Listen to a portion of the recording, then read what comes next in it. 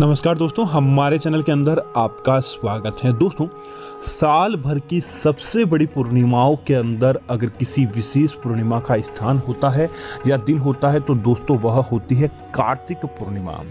दोस्तों, हिंदू धर्म के अंदर पूर्णिमा तिथि पर पवित्र नदी का स्नान करना या नदी के जल से स्नान करने का विशेष महत्व रहता है।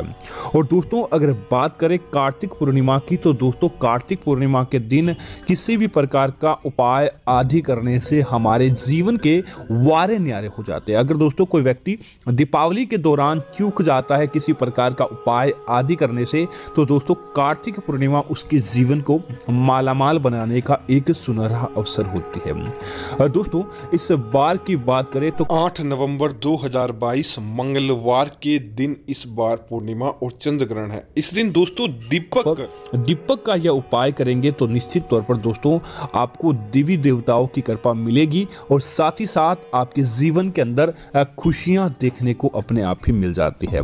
तो दोस्तों, बात करते हैं कार्तिक पूर्णिमा के इस अनोखे उपाय की। तो आगे बढ़ने से पहले आपसे निवेदन है वीडियो को पूरा और अंत तक देखें और साथ ही साथ हमारे चैनल को सब्सक्राइब ज़रूर करें। दोस्तों, पूर्णिमा अर्थात की माता लक्ष्मी और भगवान विष्णु का दिन माना जाता है। इसी के साथ ही दोस्तों, दीपावली के बाद आसमान में चंद्रमा सबसे ज़्यादा उच्च प्रकाश के अंदर इस पूर्णिमा के दिन होता है। कहीं पर इसे छोटी दीपावली के रूप में भी कहा जाता है। तो दोस्तों, इस दिन आपको अपने घर के अंदर दीपक का यह उपाय ज़रूर करना चाहिए। आपको बस साधारण सा ही उपाय है, लेकिन इसे करने से आपके जीवन के अंदर बदलाव आ जाता है। दोस्तों, आप क्या करें? कि एक आटे का दीपक लें। आटे का आप अपने घर के अंदर चौमुखा दीपक बनाएँ, आपसे बनता है तो बहुत अच्छी बात है। अन्यथा आप जो दीपावली को बड़ा दीपक काम में लेते हैं, दोस्तों बस मात्र आपको वह दीपक लेना है। और दोस्तों दीपक को आपको चौमुखा बनाना है। इस बात का आप ज़रूर ध्यान रखें कि अर्थात कि दीपक के अंदर चार बत्तियाँ इस प्रकार से डालें कि वह चारों तरफ़ से दीपक जल जाए। और दीपक के अंदर दोस्तों आपको मिक्स करके तेल डालना है।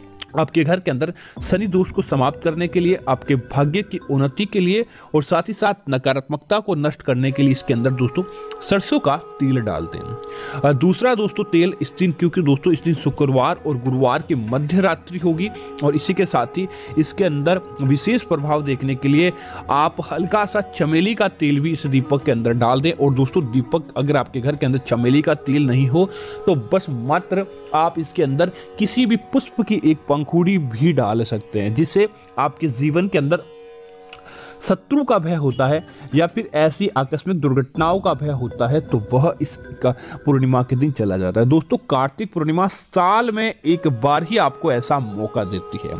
इसी के साथ ही दोस्तों, तीसरी चीज़ की आवश्यकता पड़ेगी इसके अंदर। दोस्तों, साधारण तौर से आपके घर के अंदर जो भी घी होता है, वैसे तो गाय का घी बहुत उत्तम माना जाता है, उसके अलावा भी गाय का घी आपके पास नहीं है तो कोई बात नहीं। आप साधारण सा घी इस दीपक के अंदर डाल दें और उसके बाद इस दीपक को पूर्णिमा की रात्रि के लिए ऐसे ही रख दें। और जब पूर्णिमा का समय हो जाता है, अर्थात कि रात्रि के आठ बज जाते हैं, तब आप क्या करें कि एक कमल का पुष्प लें या कमल का पत्ता लें या इन दोनों में से कोई एक चीज़ नहीं है तो दोस्तों गुलाब की या हजारे की पंखुड़ियाँ नीचे बिछाएँ और उसके ऊपर दोस्तों इस दीपक को जलाकर दीपक को रख दें। दोस्तों इस बात का ध्यान रखें कि दीपक कम से कम एक घंटे से ज़्यादा तक जलना चाहिए। इस हिसाब से आपको तेल आदि डालना चाहिए।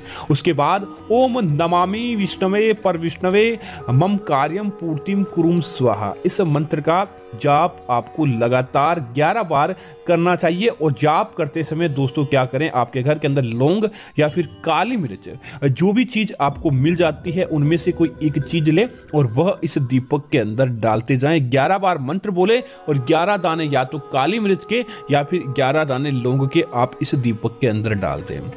जिससे दोस्तों, देवी देवताओं को आकर्षित करने की इसके अंदर एक गजब की शक्ति हो जाती है, जिसके बाद दोस्तों, आपके घर के अंदर एक ऐसे सकारात्मक माहौल का निर्माण होता है कि कोई भी आपका बाल वांका नहीं कर पाता। जो आप चाहते हैं, वह आपका कार्य होता है। दोस्तों, उसके अगले दिन आप क्या करें कि दीपक की बाती को वापस अपने घर के अंदर एक साथ अगर बच जाती है तो उसे जला दें। इस बात का ध्यान रखें कि दीपक के अंदर तेल और बाती और लौंग और काली मिर्च, यह चीज़ बिल्कुल भी नहीं रहनी चाहिए। इन्हें जलाकर आप समाप्त कर दें।